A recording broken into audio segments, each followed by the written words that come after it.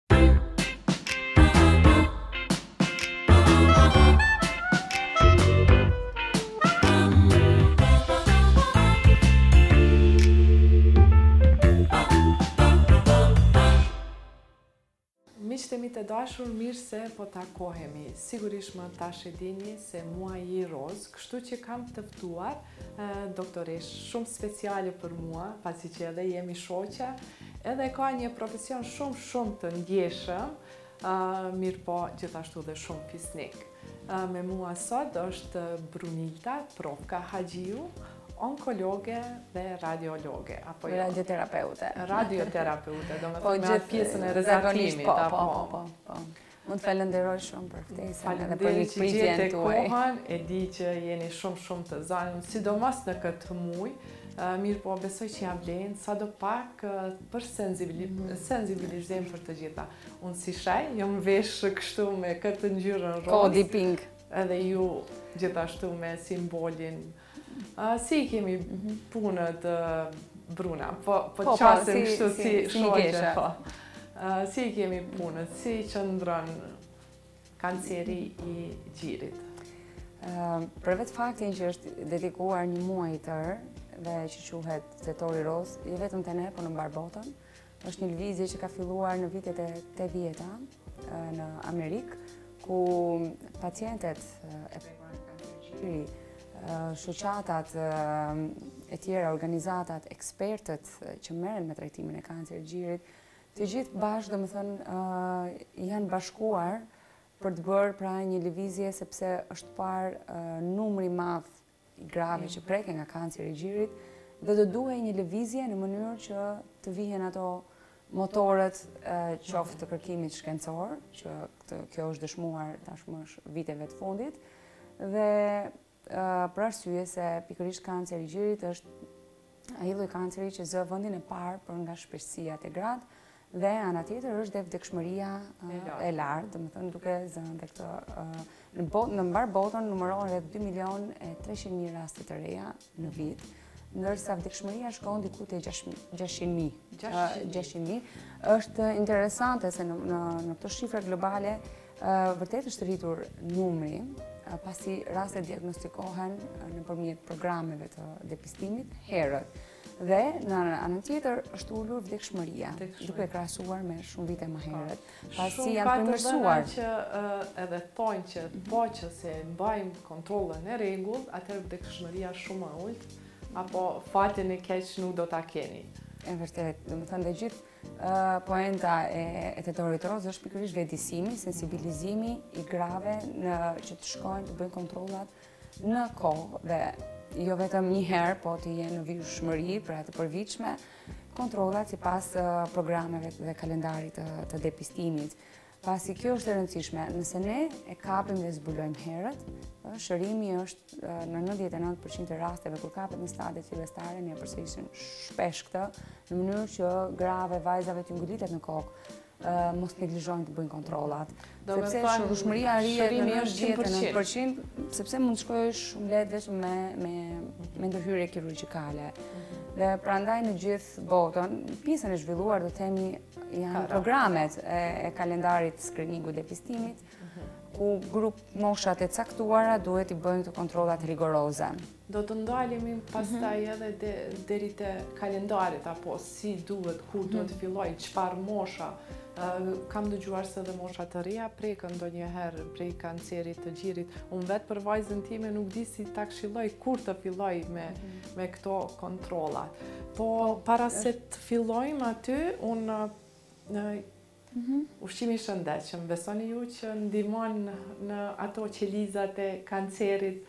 Pa diskutim, ushqimi i shëndetshëm, stili i jetesës i shëndetshëm, jo vetëm për kancerin, edhe kancerin e gjirit, për gjitha llojet e tumoreve, për gjitha llojet e sëmundjeve metabolike, neurologjike, kronike, diabeti, obeziteti, edhe gjithçka është qëndron çelësi besoj te ushqyerja e mirë.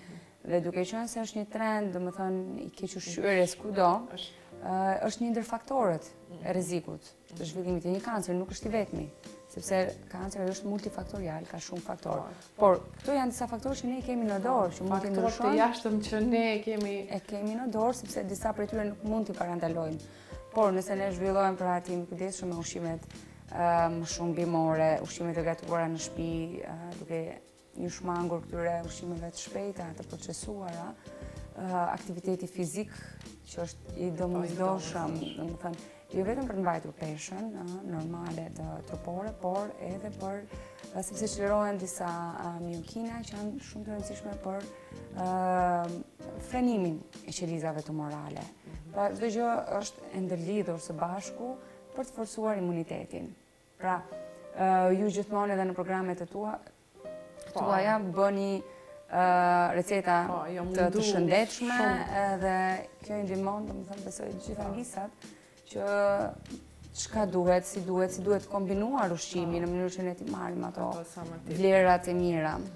Atë edhe po e prezantoj këtu kam Bruna Palpeta apo mhm. tortila, çfarë do që i quani, për të gjithë ju shikues të hënën do ta keni recetën e palpetave, mhm. të cilat duken se janë me miell, mirëpo nuk janë me miell, janë me farat e kinoas, të cilat i kam shndërru në miell dhe kjo është përmbajtja e tyre, Dhe në anën tjetër, mhm. mbushjen... A janë farë, a janë bluar? Po, futën në po.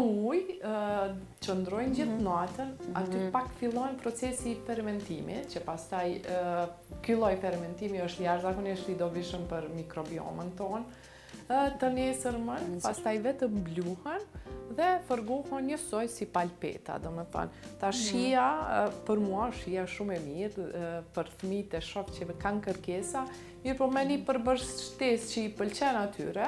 Pak ëmbëlsues, diçka, ose... Ëmbëlsues, po mund të hanë edhe të kripura. Kryesisht edhe me të kripura, më tepër me ajvar, për shembull, mhm, shumë... Me djath, ajvar. Po. Mirëpo unë e zgjedha këtë rrugën, unë e di që të gjithë personat për fat keq që kanë mhm. qeliza kancerogjene, sugjerohen që mos të konsumojnë sheqer, apo jo. fibra sa më tepër, kështu që është një mëngjes që të fillohet dita ashtu siç duhet, kinoa, mishin e pulës i cili është vetëm me vaj ulliri, kripë dhe piper, avokado për yndyrna të dobishme dhe fibrat, sallata e gjelbër dhe karotat. Kështu që pas emisionit ne bashkë do t'i shijojmë, mm, mirëpo kështu vetëm një prezentim. Dhe pa dyshim që edhe ju i këshilloni kështu me siguri pacientët e juaj. Ne i këshillojmë, mundohemi t'i këshillojmë, sepse është një ndër pyetjet që ata po, të bëjmë shpesh se si po. duhet të ushqehem, çfarë duhet të kemi kujdes. Edhe gjithmonë i themi që duhet të keni ekuilibër në ato që konsumoni. Zgjidhni gjithmonë perimet dhe frutat e stinës mundësisht, ato që janë, pastaj dieta e balancuar me proteina, pra njëherë, dy herë në javë, mish i bardhë, peshkun,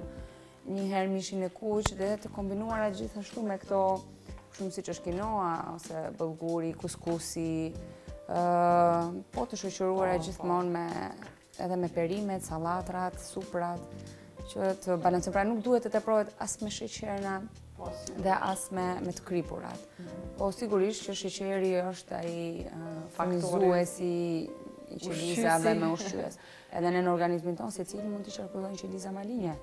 Por, ajo çka bëjmë neve, që duhet ta forcojmë imunitetin pra me ushqime të mira, për ta lokalizuar dhe për mos t'i lënë ato qeliza malinje që të shumohen pa kontroll më tutje. Po sipas eksperiencës suaj, po flasim sot vetëm për kancerin e gjirit, e di se trajtoni pacientë të ndryshëm me të gjitha llojet e po. mirëpo po ndalemi te gjiri. Si indikator mund të jetë pak a shumë hormonoterapia apo edhe gjidhënia. Si është Numri i pacientave të prekur, ka më shumë nëna gjidhënëse, apo ato që nuk i kanë ushqyer fëmijët? Keni ndonjë... Okej, këto janë një ndër faktorët e rizikut ose të mbrojtjes, sepse kur përmenda më herët, pra ka faktorë të jashtëm dhe faktorë të brendshëm, që ndikojnë dhe rrisin rizikun për zhvillimin e kancerit të gjirit. Nëse ne do të listojmë faktorët e brendshëm, atëherë është gjinia. Gjinia së pari ah, femrat. Po, po. Femrat pa diskutim se edhe nuk janë përjashtuar dhe meshkujt, po janë 1% e rasteve. Domethënë vetëm ka raste të kancerit të gjirit. 1 në 100, domethënë është raporti te meshkujt, domethënë dhe ata nuk duhet të neglizhohen, nëse kuptohet vërehet shenja zakonisht rritja e gjoksit tek meshkujt. Por, që të kalojmë te këto është mosha, pastaj me rritjen e moshës, sigurisht rritet predispozita për të zhvilluar një kancer, është, që themi ne menarka, ardhja e menstruacioneve në, në moshë më të hershme dhe menopauza më e vonshme. Sepse çfarë bën? Kjo është pikërisht kohëzgjatja e ekspozimit ndaj hormonit estrogjen që ne prodhojmë. Po. Ai është faktori kryesor nxitës i qelizave, pastaj tumorale, të cilat fillojnë dhe shumohen. Prandaj dhe hormonet që neve marrim nga goja për shkaqe të ndryshme që të ordinuara nga nga mjeku duhen me u marrë në konsideratë edhe me periudha të caktuara. Mhm. Pasi njihen si faktor rreziku. Kur përmenda, domethënë, faktorët e brendshëm hyn dhe gjenetika, pa diskutim, por ato janë diku 8 deri 9% të rasteve të cilat mund të kenë atë trashëgimi gjenetike. Vetëm aq, dome po, thënë, shumë më pak. Shumë pak, shumë më pak, se ç'mund ta imagjinojë ose të mendojë popullata që Nëse unë kam pasur dikë, vetëm atëherë mund të prekem. Jo, ka raste që nuk kanë pasur askënd në familje të prekur dhe janë gjatë jetës së tyre mund të preken nga kanceri i gjirit, pasi 12% e popullatës femra në popullatën e përgjithshme rrezikon të preket nga kanceri i gjirit. Ndërkohë nga faktorët e tjerë të jashtëm, këto janë ato të brendshëm që neve nuk i kemi në dorë. Po. Pra moshën, kur na vjen menopa, kur vjen menstruacioni i parë, kur në menopauzë, këto nuk varen nga ne. Por, laktacioni që përmende, gjidhënia, po, le të themi është një faktor të cilën neve gratë kur lindin, neve inkurajojmë për shembull ose nëpërmjet sensibilizimit që t'i ushqejnë fëmijët e tyre me gji. Dhe viteve të fundit, duke qenë se jeta është shumë dinamike, gratë punojnë, shpesh preferojnë dhe zgjedhin që t'i ushqejnë me qumësht formulë ose mos t'i ushqejnë. Dhe kjo është një faktor rreziku. Ë sigurisht nuk ka një te ne një numër të caktuar, por çdo gjë ka dalë nëpërmjet studimeve të mëdha që laktacioni sigurisht e ul me një përqindje rrezikun e zhvillimit të kancerit të gjirit, ose ato gra që kanë lindur shumë fëmijë. Është një mbrojtje. Këtu një këshillë për të gjitha nënat që ushqeni sa më tepër fëmijët e juaj, edhe për të mirën. Për benefiteve që ka fëmiju patjetër aty kur merr ato nga qumështi i nënës, domethënë elementet bazë thelb. por edhe për shëndetin e nënës, për shëndetin e gjirit. Domethënë, numri lindjet pas moshës 30 vjeç, pra sot edhe trendi është që po, të fillojnë të bëjnë fëmijët po, shtyrë, shtyrë po. mosha e lindjeve të para. Dhe kjo bën që ti ti jesh i ekspozuar për një kohë të gjatë ndaj hormonit estrogen. Mhm. Pastaj thamë që është faktori i jashtëm ushqimi, stili i jetesës. Kjo sa ma vonë është më keq, më të rrezikuara janë femrat. Po, gratë të cilat, ose gratë të cilat nuk kanë lindur asnjëherë, nuliparet. kanë një rrezik pra më të shtuar. Gratë që konsumojnë alkool, duhan, patjetër amplifikohet ky rrezik. Mhm. Domethënë, janë multifaktorial, prandaj neve çka mundemi ne me zgjedh edhe me, me bë mirë për veten tonë, le ta bëjmë, që ta kursejmë veten pikërisht po, nga, nga predispozita ose nga të ulim ato rreziqet për zhvillimin e kancerit të gjirit, çka ne mund të kemi në dorë. Pastaj janë hapi i dytë i parandalimit, të cilat janë pikërisht ekzaminimet që... Po, aty po ndalemi tash, që në mënyrë që sa më të qartë të jenë çfarë moshe duhet të fillojë ekzaminimi, madje edhe ekzaminimet më të thella, siç është mm. CT apo përveç po. siç është... Rezonanca magnetike. Po. Magnetike, po. po.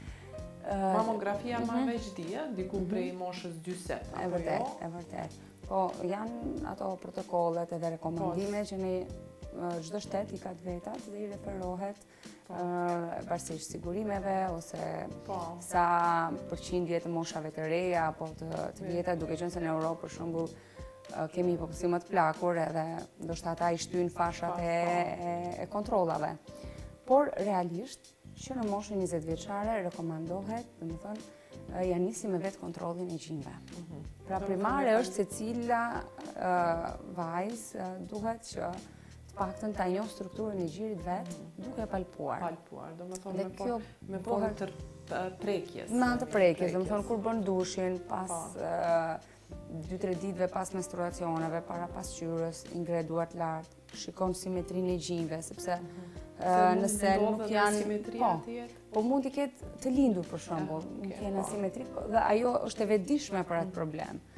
Por, në momentin e një tumori më vonë, sigurisht ndodh edhe asimetria e gjinjve, dhe më pas, pra pas këqyrjes në pasqyrë dhe fillon edhe me tre gishta, ose katër gishtat fillon e prek në mënyrë rrezore gjithë gjirin, sepse ai ka një strukturë glandulare, si si ato vilet e rrushit që i themi dhe. Po, Prandaj nuk rekomandohet përpara menstruacioneve sepse mund të jetë pak më i fryrë mhm, si rezultat i hormoneve dhe rekomandohet mhm. mm, po, pas largimit dhe është më më i relaksuar gjiri. Mhm.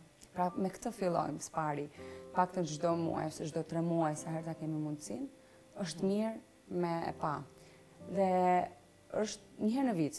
Rekomandohet pra prej moshës 20 vjeçare që vajzat të shkojnë për një ekzaminim klinik. Mhm. Mund të orientohen, mund të shkojnë te mjeku i familjes ose kirurgu, pasi te ne nuk e kemi të rregulluar mirë po, këtë çështje se jashtë quhet senolog.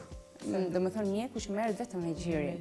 Ose janë gjinekologët në disa shtete, të cilat E konsideroj që më tepër shkojnë te gjinekologu sesa te nuk di te kush tjetër, atëherë te kirurgu. Se te po- ne nuk merren realisht gjinekologët me gjirin. Domethënë, në praktikën klinike nuk janë ata që merren, kurse jashtë merren këta dhe senologët. Prandaj neve i themi ose te mjeku i familjes, te doktori i mjekësisë, Që të paktën ai të marrë një anamnezë të gruas. Domethënë nëse ajo ka faktorë të tjerë rreziku që ka nënën, motrën ose gjyshen, predispozita se duhet të jetë shumë e vëmendshme në, në kontrolla. Dhe më pas rekomandohet që të bëhet një ultrazë të paktën. Ekoja nuk është e dëmshme. Po. Dhe me atë metodë mund të shikohet tek vajzat e reja Pasi e lejon struktura e, e gjirit që të shikohet, pasi janë të shpeshta këto gjëndrat beninje fibroadenomat, nëse e keni dëgjuar, po, po, te, te vajzat e reja, janë më karakteristike se në moshat më të thyera. Për shkak të zhvillimit të gjirit dhe krijohen këto gjëndra të vogla që Rekomandohet të hiqen zakonisht. Do më thënë duhet të intervenohet. Po, është përcillen për një kohë, që nëse fillon dhe rriten, te këto ekziston një rrezik që mund të malinjizohet dhe preferohet të hiqet. Pra, ultrazëri deri në moshën 40 vjeçare, pra 40 vjeçare. Por, në ato raste që thashë që janë grupe të rrezikuara, mund të fillojë dhe më herët bërja e mamografisë ose rezonancës. Pra ato që kanë një ose dy familjarë të prekur me kancer gjiri, fillon që në moshën 35 vjeçare rezonanca magnetike. Dhe shablloni për mamografi që është modaliteti, është parë metoda më e mirë e screeningut sepse i zbulon shumë më herët këto uh, gjëndrat që dalin në gji, përpara se të preken me dorë. Prandaj ekziston pra depistimi në mënyrë që ti pa e prekur me dorë të kapet lezioni. Dhe kjo prej moshës 40 deri në 55 ose 60 vjeç rekomandohet çdo vit ose çdo 2 vjet. Kjo është edhe ajo mundësia që ne në fazë sa më të hershme të kapim çfarëdo që mund, po, të jetë. Kjo është sepse në momentin që neve jep shenja, atëherë sigurisht jemi pak pak më vonë le të themi. Po. Dhe metodat e tjera që përmendëm rezonanca magnetike është plotësuese. Në rast se kur gjiri është shumë i dëndur, është shumë i madh dhe nuk mund ta presojë se mamografia po, është po. me radiologjike X-ray dhe nuk arrin Ta ta kapë të gjithë tërësinë e gjirit. Dhe është rezonanca magnetike që rekomandohet varësisht nga nga radiologu. Ëh, CT-ja në kancerin e gjirit nuk përdoret, pra tomografia e kompjuterizuar ose skaneri, jo. Këtë ne mund ta përdorim në momentin kur gruaja veç është diagnostikuar me kancer gjiri dhe për stadifikim të sëmundjes. Për metastaza. Po.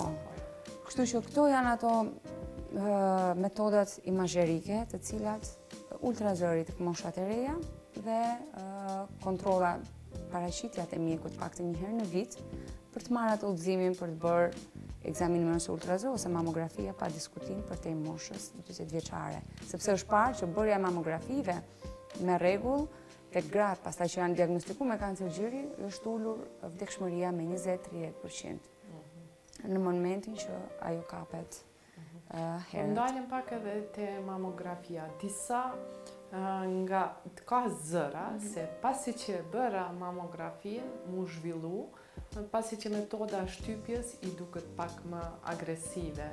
Mhm.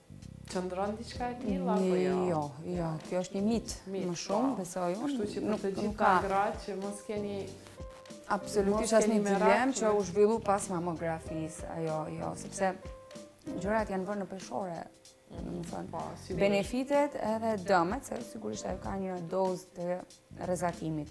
Mirëpo, mamografia që përdoret për screening, pra për depistim në programet e tilla, ka një dozë shumë të ulët të rrezatimit, që mos shkaktojë dëme, po, më po, shumë se përfitimet dhe kjo është zgjedhur me konsensus ndërkombëtar që mamografia është mjeti i duhur, pasi është e lirë, nuk vonon shumë dhe na jep rezultatin e duhur. Është e dhimbshme ajo pjesë, mm -hmm. sidomos te ato gratë që janë, domethënë, moshat më të reja, kur indi është shumë glandular dhe do më pak ndihet tek moshat më, më të vjetra kur zëvendësohet me indin dhjamor. Mm -hmm. Por është e padiskutueshme që nuk krijon mamografia, gjëndrën, ose po, iniciimin e tumorit. Kështu që për të gjithë teleshikuesit, veproni, me datat, mhm. ose anashkaloni mamografinë, se nuk ka domethënë diçka të tillë. Po atëherë, po kalojmë pak edhe te pjesa jo e dhimbshme, mhm. pas diagnostifikimit. Disa lloje, apo jo, kemi disa kancere që Janë më agresivë, disa që janë më të qetë. Mhm. Si qëndrojmë ne këtu në Kosovë? Po, kanceri i ka disa stade, disa faza. Domethënë prej stadit të parë, deri në stadin e katërt. Pra kemi stadin e hershëm, stadi i parë dhe i dytë, kur tumori është i lokalizuar në gji dhe vetëm në gji. Gati të shëruar. Të shërueshme, pra pa kaluar në këto gjëndrat nën sqetull, në aksillë. Se në momentin që ato kapin këto gjëndrat limfatike, pastaj quhet, domethënë, metastatik në limfonoduj, dhe gjasat për me shku më tej janë më të mëdha. Dhe stadi i katërt, kur veç ka dhënë metastaza dhe në organet e tjera, në sistemin kockor, më shpesh cilin po, organ më të organ. Kockat i ka të preferuara shumë. Domethënë, ka afinitet qelizor biologjik të metastazojë në kocka. Pastaj është truri, metastazat truri. në kokë, në mushkëri, në mëlçi. Këto janë katër vende tipike ku jepen metastazat nga gjiri. Edhe pse të paktën kohëve të fundit me me shpresë shumë të madhe që terapitë moderne e kanë rritur dhe jetëgjatësinë e grave me me kancer metastatik, që mos t'i frikësojmë neve kaq shumë po. popullatën, por në Kosovë viteve të fundit është vërejtur që të paktën me 400 raste që kemi pasur në vitin e kaluar dhe Deri tani kemi 400 për një vit. Për një vit të reja raste të reja. Ndërsa deri më tani kemi pasur rreth 330 raste të reja dhe në momentin që flasim. Dhe trendi përafërsisht i njëjtë. Është i njëjtë, nuk ka lëvizje 1 ose 2%, nuk është signifikante, por rastet e diagnostikume në fazat e hershme kanë qenë domethënë më të rritura se krahasuar me vitet më herë, domethënë gjysma e rasteve kanë qenë stadin e hershëm dhe gjysma në stadet më të avancuara. Po këto gjysma që kanë qenë në stadet të avancuar, sipas përvojës tjuaj, kanë bërë kontrolla, apo... Nga ato që neve i pyesim dhe arrijmë t'i pyesim, domethënë ka që i ka neglizhuar kontrollat, po. Domethënë, ke raste që nuk kanë qenë asnjëherë. Ka ende, po shumë pak janë ato në mosha pak më të shtyra që kanë mbajtur të fshehur, mhm. të mos i tregojmë, të mos i shqetësojmë familjarët, fëmijët, sepse s'po ka dhimbje dhe pastaj vjen një moment që bëhet e madhe. Mhm. Ndërkohë që neve përkundrazi duhet t'i tregojmë që në fillim që nëse shohim diçka edhe pse s'ka shkuar në kontrolla të rregullta, Ta lajmëroj, domethënë, familjen, sepse alarmi më vonë është, domethënë, po, shumë, shumë i vonshëm. Edhe kur një person familjes sëmuret, ne themi shpesh që gjithë familja sëmuret. Edhe ka një kosto shumë më të lartë, edhe të trajtimit, edhe të gjithë pjesës ekonomiko-sociale, psikologjike për për pacienten. Prandaj neve gjithmonë apelojmë edhe bëjmë këto fushata që ta kapim herët, pa na dhënë simptomat, që të rrisim mbijetesën dhe jetëgjatësinë. Po pas moshës 20 vjeçare një herë në 6 muaj apo një vit?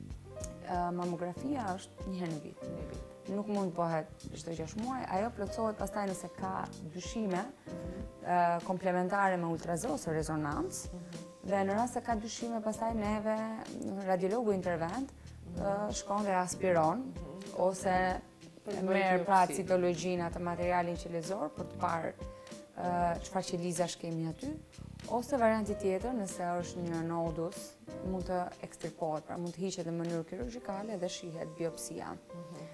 Kur kemi ato klasifikimet që jemi në në mëdyshje dhe ka më shumë gjasa për të qenë uh, malinje.